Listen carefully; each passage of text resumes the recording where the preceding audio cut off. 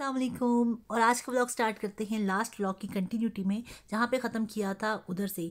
अब यहाँ पे हम घर पहुँच चुके हैं और घर पे मैं पहले ही खाना बना के गई थी। ज़्यादा मैंने तकल्लुफ़ नहीं किया था, इसलिए कि मुझे इसको लेने जाना था तो मैं वो जो टाइम पे करने वाला तकल्लुफ़ होता है ना, वो नहीं कर सकी। तो यहाँ पे खाना बना के गई थी और जो कि उसने खाया और उसको बहुत अच्छा लगा। अच्छा मुझे काफ़ी डर लग रहा था कि पता नहीं उसको अच्छा लगेगा कि नहीं लगेगा। तो इस वजह से मुझे काफ़ी डर लग रहा था, लेकिन शुक्र अलहमदिल्ला इसने अप्रूव कर दिया, इसको बहुत अच्छे लगे मेरी बनाया हुआ खाना। वो तो मैंने पहले दफ़ा खाना बनाया और उसके बाद से इसने मुझे कहा कि तुमने करना है आराम, इसलिए कि पिछले दस सालों से तुम कर रही हो काम और मैं तुम्हारी हेल्प कराऊँगी हर तरीके से। ये खाना बनाती थी खैर सफ़ाई वगैरह मैं करती थी, लेकिन आज जो है ये गार्डन में हमारे ग्रास काफ़ी ज़्यादा हो गया था तो वो उसको कट करी और काफ़ी इंजॉय करी थी। अब अकेले इंसान बोर होता है लेकिन जब आप दो होते हो ना तो आप हर चीज़ को इंजॉय करते हो और जब आपका, आप कहें कि बॉन्डिंग ज़्यादा अच्छी हो तो फिर तो बहुत ही ज़्यादा इंजॉयमेंट होती होती है।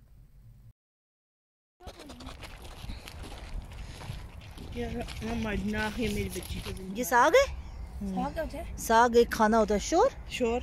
अच्छा आप लोग भी बताइएगा मुझे कमेंट सेक्शन में कि ये साग है इसलिए मुझे तो नहीं पता। ये वाला और ये भी साग है ये। कौन सा? ये ये गंदले गंदले। ना कर बिंदा ये गंदले ये ये, ये वाली गंदले? हाँ। पक्की बात है? पक्की बात है ये साग सूंगो अच्छा। ये मुझे नहीं ये कांटू वाला साग है। अच्छा है। साग? साग है। ऐसे उंगली ना बीच में आप मूली की तरह। हम्म। खुशबू ये साग है। अच्छा। ये गाँव के लोग ही बता सकते हैं। कि ये क्या है? चले जी, आज मैं, अक्सर मुझसे ना कमेंट सेक्शन में ये बात पूछी गई है कि हमें ना फ्रांस के बड़े शहरों में रहना चाहिए या छोटे शहरों में? जैसे कि अब मेरी कज़न आई है ना, ये मकसाई से आई है। मकसाई आप कहें कि फ्रांस का दूसरा बड़ा या पहला बड़ा, मेरे ख्याल है दूसरा बड़ा शहर है। और मेरा जो शहर है ना, ये छोटा सा, एक मतलब मुन्ना सा, एक छोटा सा शहर है। तो अब मैं इससे पूछूँगी कि इसको क्या डिफरेंस लगा वहाँ का और यहाँ का? तो बताएँ जी, आपको क्या डिफरेंस लगा? लोग बहुत कम है यहाँ पे। अच्छा। और वहाँ पे तो बहुत रश है बहुत ज़्यादा हर वक्त गैमा गैमी बंदे बंदे पे बंदे। अच्छा। और यहाँ पे पुरसकून टेंशन इसके अलावा फॉरनर्स वहाँ पे बहुत ज़्यादा फॉरनर्स बहुत ज़्यादा हैं। लगता हाँ। है कि यहाँ पे फ्रेंच कम है और आई थिंक सो फॉरनर्स ज़्यादा है। अच्छा। और बाकी इन्वायरमेंट में बहुत डिफरेंस है हम्म। बहुत ज़्यादा। यहाँ पे ग्रीनरी ज़्यादा है। ग्रीनरी ज़्यादा है। हमारे तो नो रूल ओबे हाँ ये मेन पॉइंट है हमारा। रेड हम्म। पे भागो व्हाइट पे रुको तो मुझे बताइए आप क्या करती हैं जब रेड और व्हाइट सारी बात है अपने अपने मकसई के लोगों को सपोर्ट करती हूँ। रूल्स वाले नहीं करते। रूल्स वाले नहीं करते। हाँ, हाँ। और हम तो अकेले भी हो ना फिर भी तो रूल फॉलो करते हैं। लेकिन ये बहुत अच्छी जगह है मैं सबको कहती हूँ अभी अभी तो आपने देखा ही नहीं बिंदा अभी तो आ, मतलब सिर्फ़ हम इधर आए जो घर के करीब वाला जगह है वहाँ पे आए।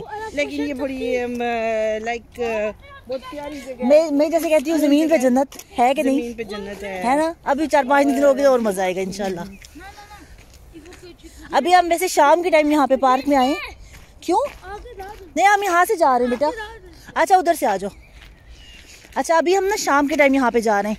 और दिन के टाइम तो रश होता, लेकिन अभी शाम के टाइम कुछ ज़्यादा ही पुरसकून है। हाँ वहाँ पे तो बच्चे खेल रहे होंगे ना शायद फुटबॉल ये और जो है जश्न ये हमारे खेल रही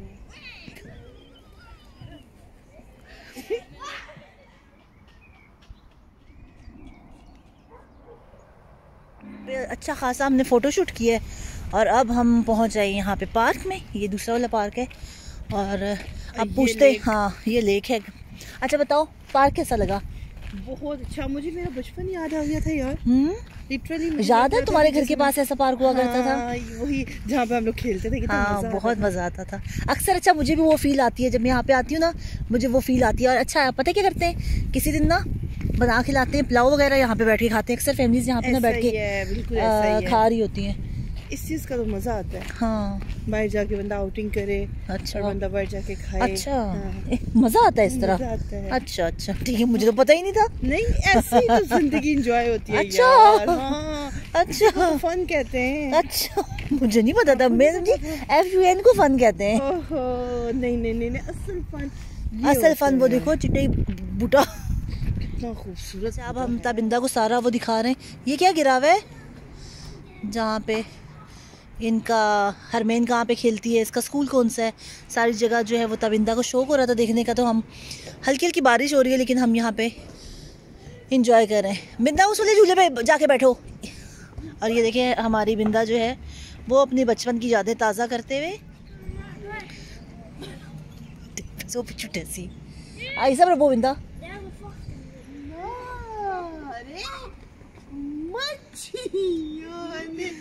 खारे।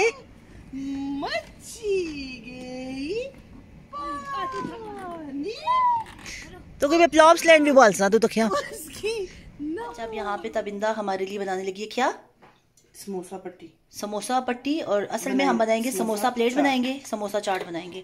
ठीक है मौसम जो है ना आज मैं आपको दिखा रहा हूँ। हाँ आज मौसम ज़्यादा ठंडा ठंडा है। अभी थोड़ी देर में बारिश होना शुरू हो जाएगी। तो हमने सोचा कि आज ना हम ये वाला सीन इंजॉय करते हैं।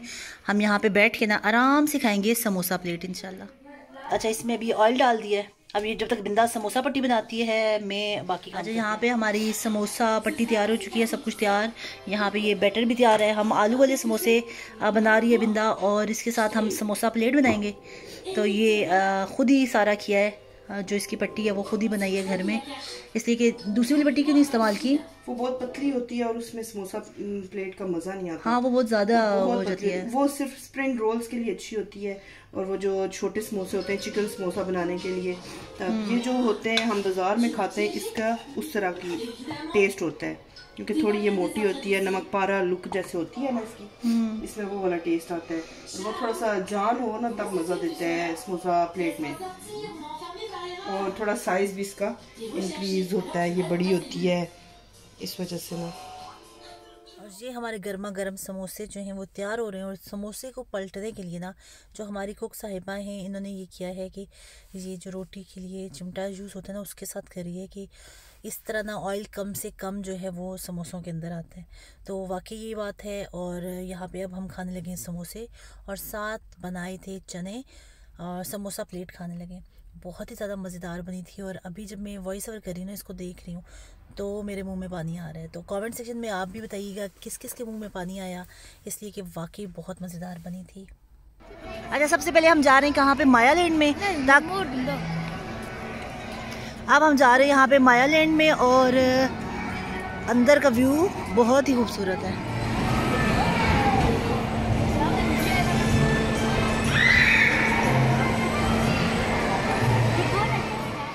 यहाँ पे हम आ गए हैं प्लॉपसा लैंड में और जहाँ पे ऐसा हुआ कि जो बिंदा है ना हमारी वो वो इंसान है, आपने को पता होगा कुछ लोगों को ना झूलों पे बैठ के चक्कर आते हैं और कुछ लोग ऐसे होते हैं जिनको देख के भी चक्कर आते हैं। तो ये वो वाली इंसान थी जिसको ना देख के भी चक्कर आ रहे थे और सिर्फ़ ये वाहिद स्लाइड थी जिसके ऊपर उसने हिम्मत की, उसको अच्छा लगा इस पर बैठ के। खैर, आगे जाके हमने और भी झूलों पे इसको बिठाया, इसलिए कि जैम को बहुत शौक था कि बिंदा किसी न किसी झूले में बैठे और मेरी तो हरमेन भी नहीं डरती माशाल्लाह से। तो खैर यहाँ पे हमने यहाँ पे स्लाइड ली और इस स्लाइड में का भी ना अपना ही मज़ा था, बहुत मज़ा आया हमें स्लाइड पे। ये माया लैंड है, इसमें ऐसा होता है कि जो बच्चे होते हैं ना छोटे मतलब पाँच साल से छोटे बच्चे उनके लिए यहाँ पे हैं झूले वगैरह, जो कि बच्चे झूलते हैं। हमारे मेन की वजह से यहाँ पे आए और बिंदा की वजह से भी कि ताकि वो स्लाइड ले ले। ये ना हो उसका सारा जो ये है, हमारा जो आज का दिन है, उसके लिए बोरियत का बायस बने। तो यहाँ पे उसने स्लाइड ली।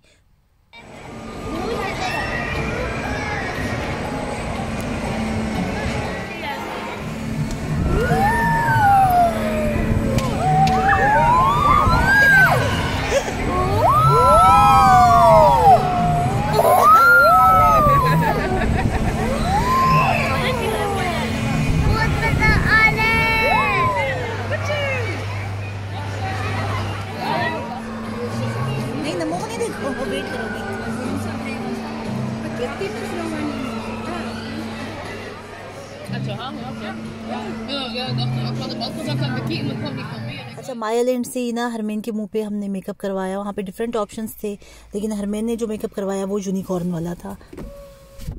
और इसके बाद हम जब बाहर आए तो यहाँ पे बाहर ये फाउंटेन्स हैं, उसमें बच्चे ना बहुत इंजॉय करते हैं। मौसम भी अच्छा था, ऐसा नहीं था कि बहुत ठंड थी। तो मैंने बच्चों को फ़िलहाल मना किया है कि अभी नहीं जाना, इसलिए कि हरमेन का जो है वो मेकअप सारा ख़राब हो जाएगा। थोड़ी देर उसको उस मेकअप के साथ इंजॉय करने दो।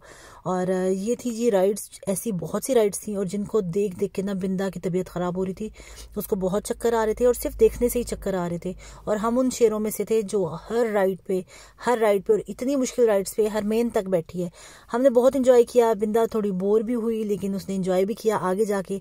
इसलिए कि जेम जो है ना, उसकी ख्वाहिश थी कह रहा था कि, मामा, बिंदा खाला ने ज़रूर किसी एक राइड पर लाजमी बैठना है। तो एक तो बिंदा ने बोटिंग कर ली थी और उसको भी हमने बहुत इंजॉय किया।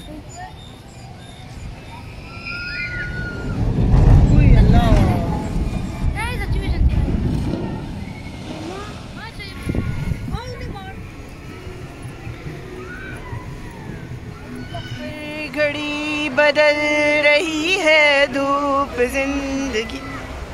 छाँव है। कभी। कभी है धूप ज़िंदगी।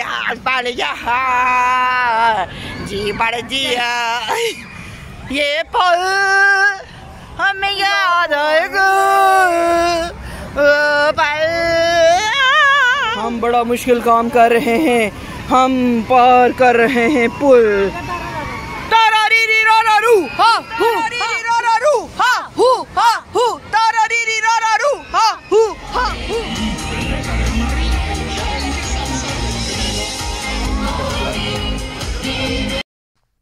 अच्छा पार्क जो है ना, वो छः बजे के करीब तक जो है बंद हो जाता है। आजकल ये है, लेकिन समर में ना इसका टाइमिंग ज़्यादा हो जाती है। तो ये लास्ट शो था, ये हमने देखा और उसके बाद हम घर चले गए।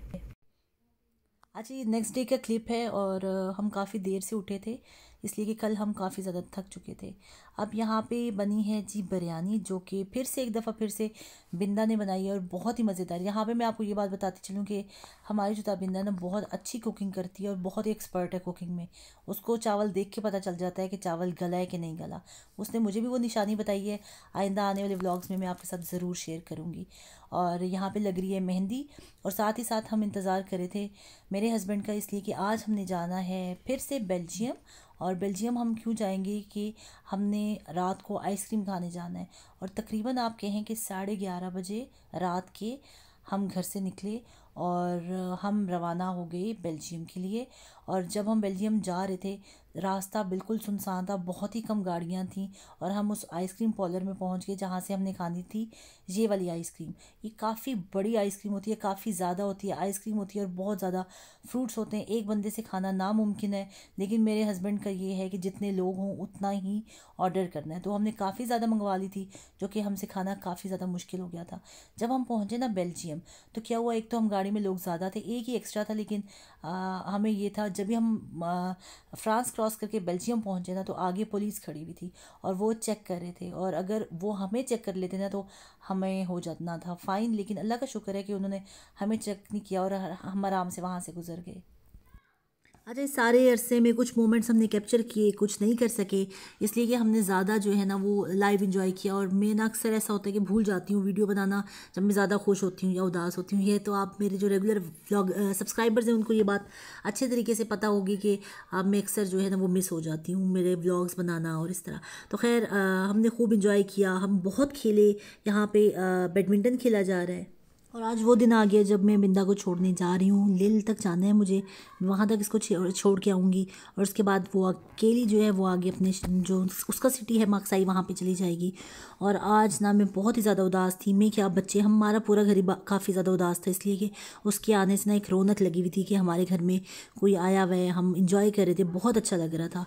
और अब वो जब जा रही है तो बहुत दिल उदास हो रहा है। और अक्सर ऐसा होता था जब मैं किसी को देखती थी ट्रेन स्टेशन पे अपनों को अलविदा करते हुए तो मैं कहती थी कि हमारा तो यहाँ पर कोई है ही नहीं भाई जिसको अलविदा करते हुए हमें रोना आए या कुछ ऐसा हो। लेकिन ये हसरत भी पूरी होगी हमने खूब इंजॉय किया उसको जाते हुए, अलविदा करते हुए। खूब रोई भी, बाकायदा मेरी आँखों से टप टप आँसू गिर रहे थे और जो लोग थे वो देख रहे थे कि इसको हुआ क्या है। लेकिन खैर ये ऐसे ही होता है, मिलना, बिछड़ना और इसी में शायद मज़ा है ज़िंदगी का। तो इन बहुत जल्दी हम दोबारा मिलेंगे। आई होप आपको मेरा आज का व्लॉग अच्छा लगा होगा। अगर अच्छा लगा है तो प्लीज़ इसको लाइक कर दीजिएगा। चैनल पे नहीं है तो सब्सक्राइब कर दीजिएगा। अपनी दुआओं में रखिएगा याद, मुझे, मेरी फैमिली और स्पेशली मेरे अब्बू की मकफ़रत के लिए बहुत सारी दुआ कीजिएगा। इन मिलती हूँ अगले व्लॉग में। तब तक के लिए इजाज़त दीजिए। अल्लाह